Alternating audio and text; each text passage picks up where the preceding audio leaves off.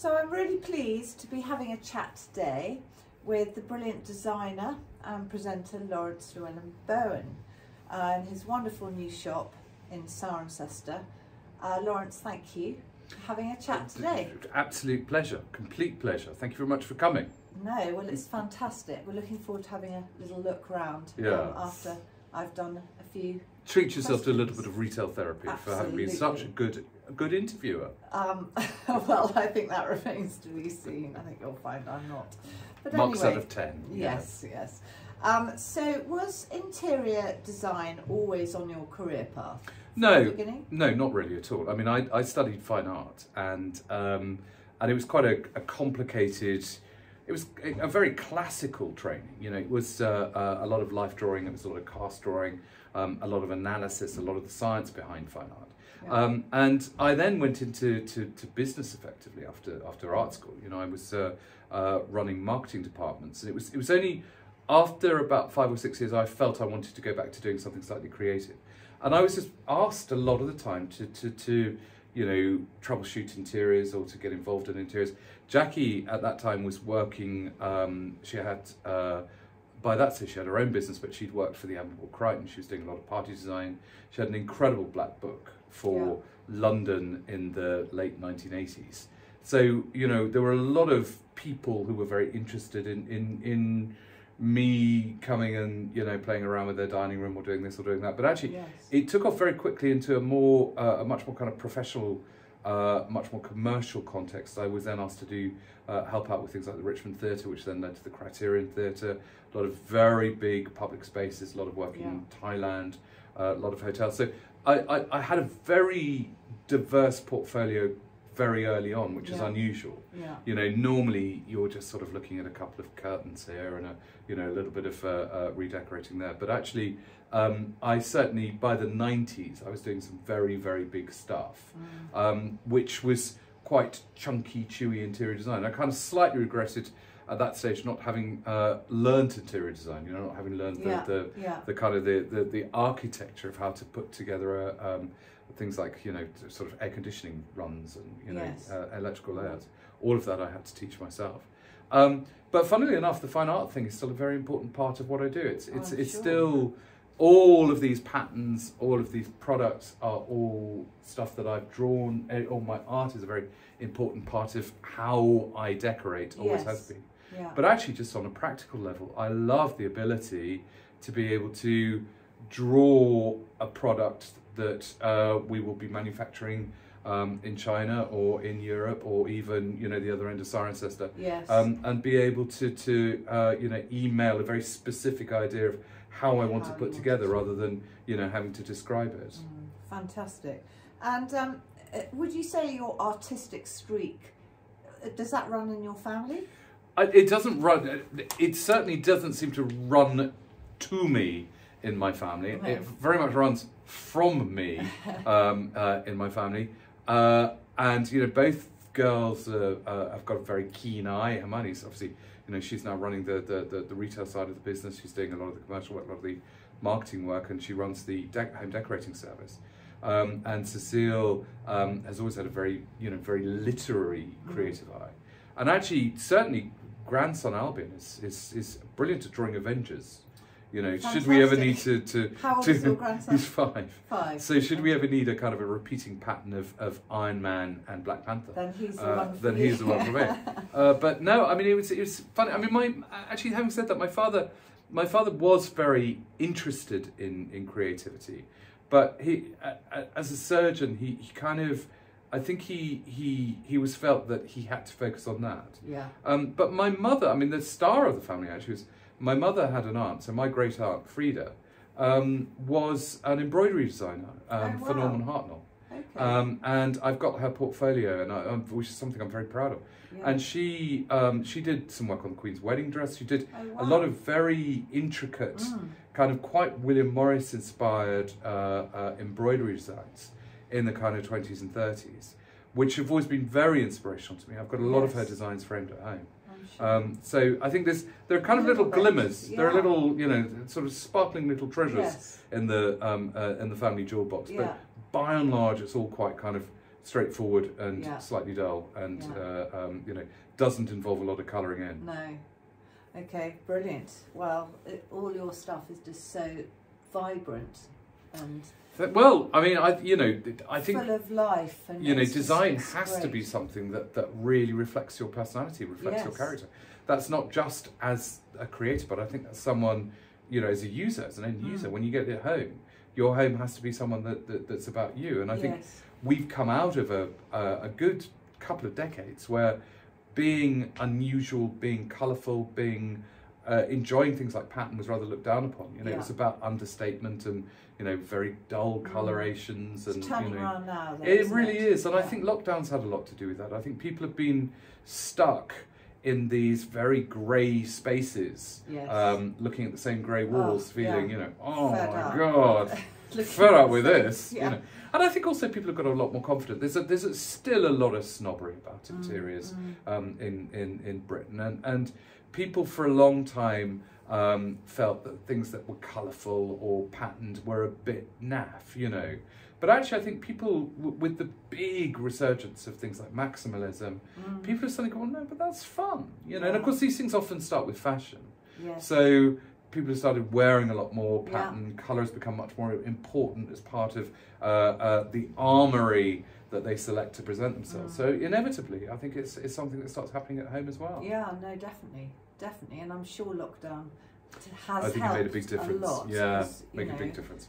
I think also- so much time to think about their You know, when for, for, for my generation particularly, um, I think we grew up in houses that were a lot more patterned. Mm, Um, yeah. you know, in the sort of the sixties and seventies, it was all about Laura Ashley and Mm. William Morris and, Yeah. and or Biba, if you know your your parents were exotic. Mm. Um, and actually, I think we look back on those days quite fondly, quite nostalgically. Definitely, You know, No, so I think, so. there's a lot of nostalgia in patterns, and, and so you know we sell a lot of this at the moment, uh, Suburban Jungle, which is a very. William Morris inspired pattern. Yes. But um, I've given it a very exotic spin. You know, I've got panthers and ginger plants rather than robins stealing Yes. strawberries. Yes, yeah. That's great. It's so lovely. Um, so, Laurence, you've featured in numerous uh, TV Yes. series over the years. Which, which is there one that you enjoyed um, doing the most? I'm quite lucky because I tend to be able to enjoy the one that I'm doing at the moment, which is quite handy because some of them can be, you know, a Yeah. lot, a lot, either a little bit on the dull side or a little bit on the overexciting side. Yes. But I, I mean, I think the big thing is, you know, everyone keeps returning to changing rooms because it's where the whole thing started, and of course, you know, it was revived last year, and we're going to be doing more this year. Um, and so, 25 years later, to be doing that show, Yeah. which was so incredibly Awesome. iconic. Um, the interesting thing, though, has been in in the, the the intervening period in the 25 years. I've been involved in so many spin-offs of that show all Mm. over the world Mm. um, you know, Australia with house rules, uh, the apartment in uh, across Asia, um, uh, all the stuff that I've done in America, things like trading spaces. You know, so there was that one very British program that started it all off, yeah. um, and has had such huge influence. But it was a, it, it, it was a great way of showing people that actually you can have fun with what you do in Yes. in, in, in your decorating. yeah. It doesn't have to be too grown up, and I don't think it should be too grown no, up. You know. no, and I think that's why everyone loves it. So Yeah, much. yeah, it's a bit more rock and Enjoys- roll. enjoys watching it. Um, and so changing rooms must have brought a lot of different uh, challenges. Mm. Um, are there any sort of particular times or ins- Yes, well, as we know, Panda, were there were there were several there were several moments all over the tabloids where they didn't like it, big time um, Oh, gosh, in the early yes. days. And uh, but I, I, you know, I mean, I can remember because I was very, you know, changing rooms was something that that literally landed in my lap. I had no. Uh, I had no sort of kind of predilection to want to go on television at all. It just sort of happened quite organically. I was Mm. very surprised by its success. I was very surprised by the fact that I was on television.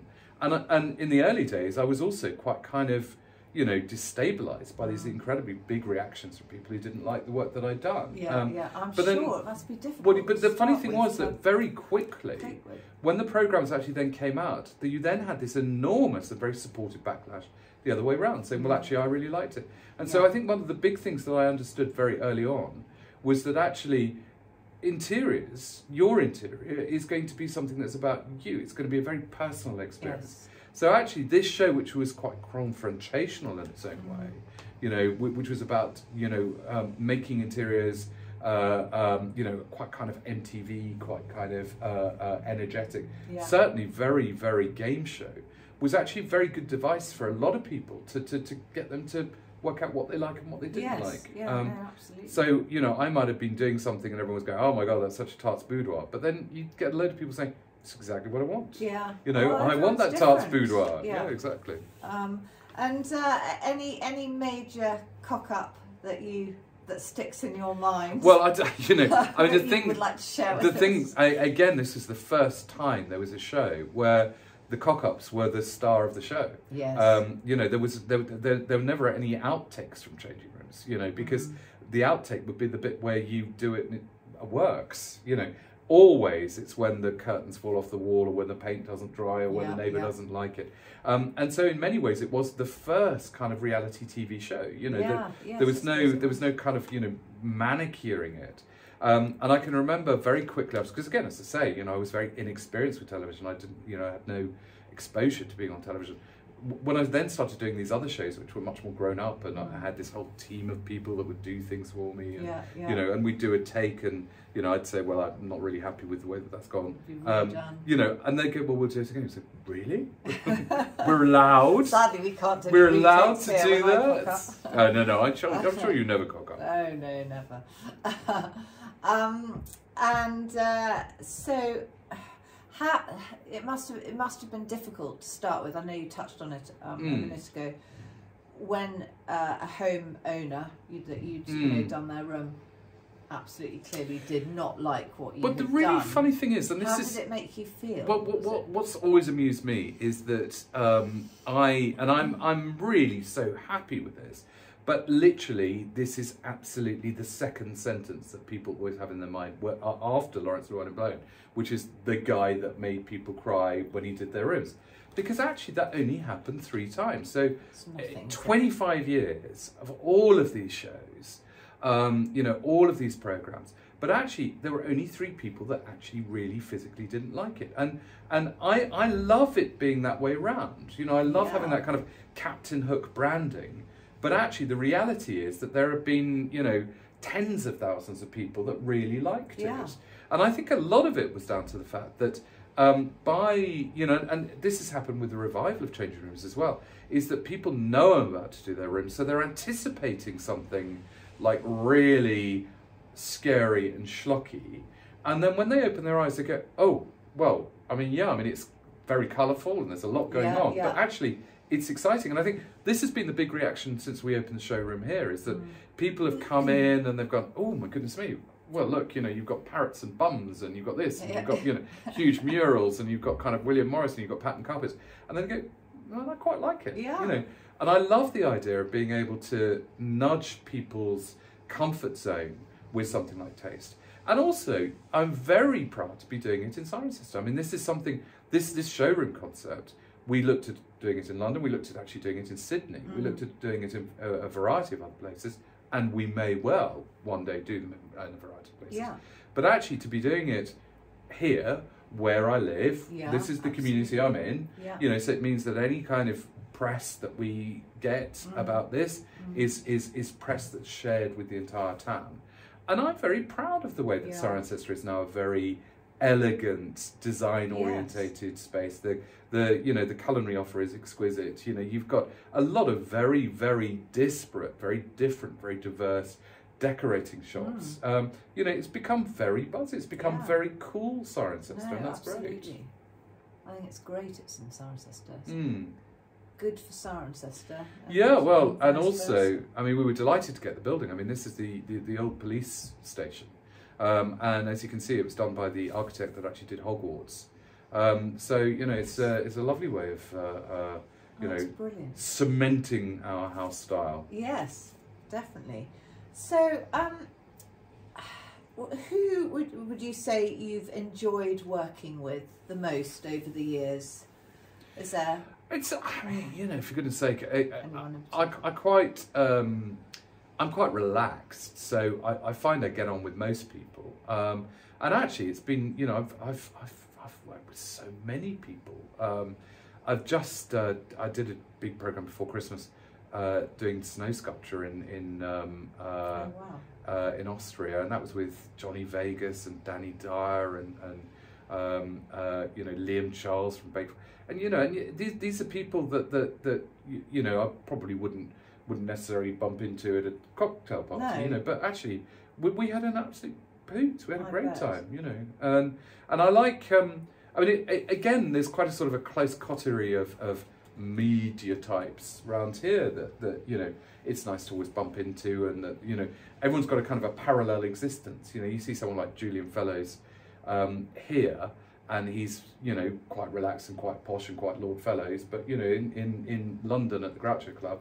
you know he's he's you know he's a screenwriter it's it's, yes. it's yes. nice when you've got that kind of sense of, of, of everyone having a slightly different life Yeah, yeah, no, absolutely. So maybe we could talk about this lovely Mm. new showroom. How long have you actually been here now? Well, we opened in August, very in a very soft way. Uh, I mean, we've still not done a massive, massive, big. Well, you know, we are here. COVID. Well, you know, you get things set up, and then you know you worry about it, and Yeah. and Yeah. and actually, the I like the fact that we're doing so well, just really quite quietly, that people have found us under their own Yes. terms, and yeah. they've come in, and and we've got some very, very, very uh, dedicated uh, uh, clients who love the newness of it. I mean, the, the big thing here is is is the, the way it functions as a showroom. So this is where you come to buy um, uh, the bespoke fabrics or the bespoke wall coverings, and these aren't available anywhere else. No, so you know, no. I have a very successful retail brand that is is in you know Next, is in Wayfair, uh, all over the world. Is in um, uh, uh, uh, you know places like uh, Fraser in China, um, uh, and in Robinsons in, in Singapore, in Asia, all the way everywhere you go, more or less. But um, that is always product that is created for a market. This is the other way around. This is me just designing patterns, just painting, just creating uh, uh, home furnishings or um, uh, decorative items. And, you know, it's sort of like, well, buy it if you like it. You know, it's a much more emphatic, much more kind of um, almost couture Yes. way of Yeah. retailing. Um, and it seems to fit Cirencester very well. So Cirencester is a very design literate space. Mm. Um, and I think people like the theatre of it. They like coming in here. They like the fact that it always smells good. They like the fact that we have the music. They like the fact that it it it, it feels quite international. It doesn't necessarily feel Mm. like a, a market town. needed that. Well, I, you know, I mean, it, it, it's It you know, why not? that. Why Yeah. not? Um, and now we so we do a, a home decorating service from here, which which is very popular and, and was was something that Laura Ashley did so well, but um, obviously they've gone now. Mm. Um, which is where people, you know, we, we, we do the curtains, we do the, the upholstery, it's something that Hermione runs, as well as we, we run that in, in, in parallel to the, the bespoke design service. So that's the Mm. side that I do, which are the Yes. big spend, Yeah. um, you know, real, everything is, is, is designed from scratch. yeah. Because we have the whole building, so we have uh, the, all the design team um, there and upstairs. Fantastic. And we're now running everything from here, so it's, it's, it's very much a flagship. And you here a lot of the time. I'm here when you're not now. Yeah, I mean, I've I've again with with uh, uh, lockdown. You know, up until lockdown, I, w- I was only in Cirencester for probably. I mean, it was it was as little as sort of four or five months a year Mm. because of particularly the big Australian series yes, massive, Yeah. um, and then straight on to Asia.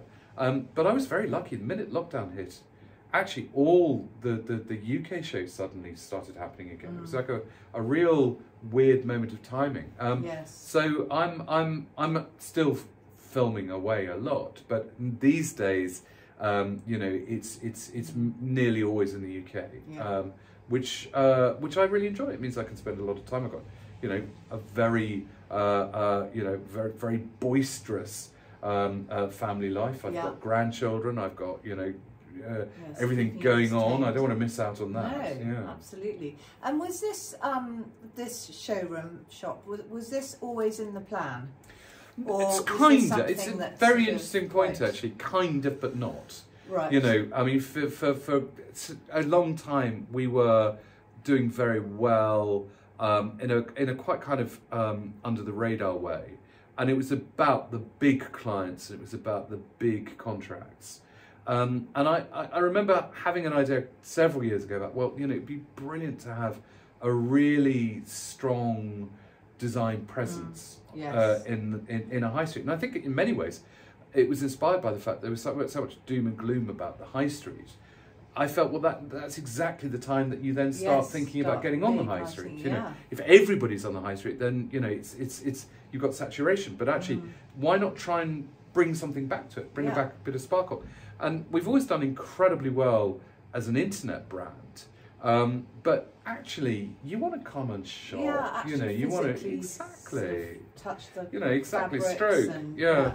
And in fact, this was a real. Um, so this project, this whole showroom project, was a was a a, a, a, a real result of the first lockdown. I mean, you know, it, it meant that the whole business retracted a lot. Um, we were very lucky. We had a lot of clients. I was still filming actually through most of the lockdown. Um, we were still going, but actually, it gave a lot of everybody else time to think, about things. yeah. You know, and so we thought now would be a good time. And then also, um, as we came out of the first lockdown, a lot of the landlords were getting very concerned about, Yes, I'm you know, uh, filling spaces. So, Mm. you know, we, we, we we were very lucky that the Bathurst estate has been unbelievably supportive of what we've done. Mm. Um, this is also grade two listed. This is quite Yeah. a big deal. Yeah. So we needed a lot of support from uh, the, the, the the planners and heritage and stuff like. And they were great. They you know they were they were more than happy with what we've done. So timing really was it was it was all good timing. It was- every cloud, I suppose. That's exactly it. That's exactly it. And I think that COVID sometimes you know you you look at the way that your life is and the look at the way that your job is, your career is, and because it's not going the way that you want it to go, you think it's wrong.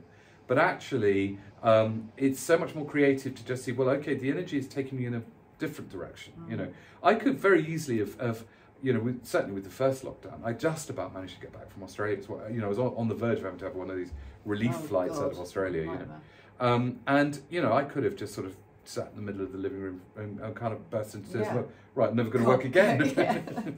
but actually, um, you know, It can give you a nudge, it can. it? It In a different and inspiring direction. Yeah, exactly. Inspiring creativity, I think, is a Yeah, good thing. yeah. Um, and I know you're involved in the money.co.uk Yeah, yeah. offices here in Ciren, which are fantastic. Do you do a lot of work for businesses? Yes. Would Um, you say that's your sort of I mean, I like working for businesses a Yeah. lot. Um, I've got a lot of, uh, uh, you know, wonderful uh, domestic clients that, that you know, we, we've done some incredible stuff. We're just finishing off a huge, huge project in South Cerney, um, Oh, wow. uh, new build uh, projects in South Cerney. Mm. Um, and um, but actually, it's still. I mean, I think you know, I, I a lot of the work that I did at the very beginning was things like hit theatres, restaurants, hotels. I do love doing those because I Mm. think I love adding that layer of experience um, uh, to, to, to what's going on. And in fact, if I have one gripe um, about the loveliness that is the Cotswolds and, and Mm. Cirencester in Mm. particular, is that you know the the the the, um, the culinary uh, uh, tradition around here is incredible. It's amazing. Yeah. Um, absolutely brilliant. We've got the most brilliant chefs. We've got the most brilliant um, uh, uh, raw ingredients. You know, there's Yeah. a real sense of innovation and quality. But often, um, the interiors are really very uncomfortable, and I'm very bored of the uh, the current Cotswold cliche Mm. of you know mouse back paneling and exposed light bulbs and a bit of brickwork and some Mm. very uncomfortable kitchen chairs. Yes. Yeah, I you know that you know what happened to that night out where it was a sort of wonderful plush and- red yeah. bistro and a guy had a big kind of you know Yes. pepper grinder and Yeah. you know you had sort of a candle on the table you know and it was Yeah. romantic and because it, more than anything it's the acoustics you know Oh, when when you go out can be awful, oh it's just terrible and it, you know I love this whole gastro idea Rose but evening. it, I mean, you know, I think again because we were all denied that for such a long time. Now, I want to go to a good old-fashioned restaurant um, that's a bit like this. That's Yes. maybe got a couple of potted palms or whatever. you yeah, know. yeah. So I can be there with my wife. I can be there with Mm. my family. We can hear what each other is saying, Saying, rather yeah. than having all the chairs being scraped over So, bare floorboard. Exactly, exactly. Or you know, this sort of you know great big echoing coming off all the Mm. exposed brickwork. And I think that that's something that does need to be rethought. So I mean, I love everything that um, you know, Mike at Cotswold Life used to do about the, uh, uh, you know, about how improbable it was to serve things in a pair of Wellington boots. And Mm, you go to the pub and you, your chips arrive in a flat cap. Yeah. I, I completely get all of that. But I think also the other thing is that, you know, let's start making dining a bit more experiential, as Yeah, the Americans say. You know, let's make it a little bit more seductive. Yeah. I mean, I, I grew up in this tradition where you were taught, you know, I did so many restaurants in places like Knightsbridge and Mayfair where, you Mm. know, you always used pink, you always used um, uh, raspberry because it was very flattering on people's complexions. You Mm. know, you had light bouncing off a white tablecloth or you had lighting in the middle of it. Yes. You know, you had a lot of very soft furnishing, you had deep Yeah. carpet. So it made the whole experience incredibly luxy. Mm. And eating out is expensive, Yeah, you know. But let's, okay, the food's marvellous and it's great, and I love it when the chef comes out and we all have a chat about it. But also, Mm. I want the conversation to be lovely as well. I Mm. want the, the, the whole I'll be able to evening to be something Yeah. that's that's uh, uh, seductive and memorable. Well, you need to you need to get into all these. I know, exactly. For goodness sake, you lot, to pull your, really- yeah, pull your socks up, Yeah, you know, exactly. crikey. need to be I mean, I don't, I, exactly, I don't want a restaurant to feel like Clarkson's Farm Shop, for goodness sake. It should feel like Laurence Llewelyn Bowen's boudoir. Yes, exactly. Um, so, Laurence, where would you say you? Where do you draw your inspiration from mainly? His travel had a big hand in this. Travel, gin, uh, gin, more gin, gin, yeah, more gin. real- yeah. I, th- I think one of the big things is history. I mean, I, I, you know, I've, I, I love um, using historical style as a springboard to create something quite dynamic, something Yeah. quite new. And I've got a load of real design heroes, like William Morris, who's got Cotswold boy as well, uh, and also people Yeah. like David Hicks, he did a lot of work in the Cotswold. Yes. Um, yeah. You know, and actually take take a lot of inspiration from the age of the building. You know, this Mm. is this is uh, wonderful. It's from the 1850s. It's Mm. crazy. It was you know put together to to uh, you know it is the police station. It's the old. Yeah. Uh, we've got the old cell block around the back. Oh wow. Um, so you you've got a lot of kind of you know Victorian, rather pompous, um, yeah, slightly Jack the Ripper architecture, yeah. uh, which we painted pink. Yeah, why would you not? Brilliant. Yeah. Why not? Why not? um, and your uh, wallpapers and, and Yes. fabrics, where are they actually made? Are they Well, made all- here? yeah, no, they are. I mean, the stuff country? here um, is all made uh, uh, in the UK, and in fact, actually, now the wallpaper is all printed in the UK. Um, so, um, um, one of the interesting things, that, in fact, for with the entire business, so the big business, um, the retail business, is that um, uh, a lot of what we do has suddenly become uh, UK based because, obviously, you know, COVID is a big Mm. part of that. Yeah. Um, uh, just supply chain's been an absolute Yes. nightmare, and that's not just Brexit. That's things like um, you know when, when there was a problem with the Suez Canal. Yes. Um, you know, up until that point, there was a real knee jerk of getting everything made in China. A lot of our upholstery came from Thailand, actually. Yeah. Um, so a lot of the big relationships are looking at supply. I mean, our SCS outfits, which is huge, absolutely enormous Mm. uh, um, uh, business, that they are all made in the UK. So there's definitely a real, um, there's much more interest in that. And and I'm very keen on artisan stuff. So a, a lot of things like the lamp bases, they're all um, uh, blown specially for me um, uh, by a guy in Blackpool. I, I'm very interested in, in, in presenting more and more and more local stuff.